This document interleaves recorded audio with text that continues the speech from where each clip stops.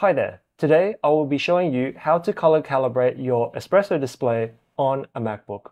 Let's get started. Before we begin, if you have a third-party calibration tool, make sure you visit their website and follow the instructions that the manufacturer provides. Alright, to begin, you'll need to connect your espresso display to the Mac and ensure that it is on and working. Next, go to your system settings, navigate to the display tab, and with the espresso connected, you should see two screens select the espresso display.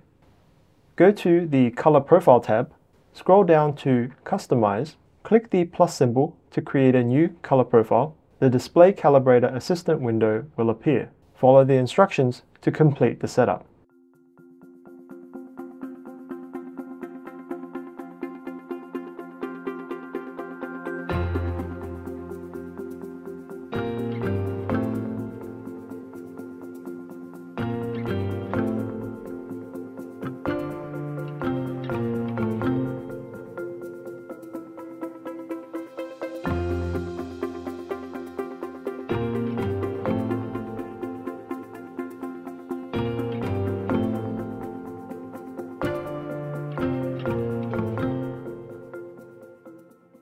Congratulations! Your espresso display should now be calibrated.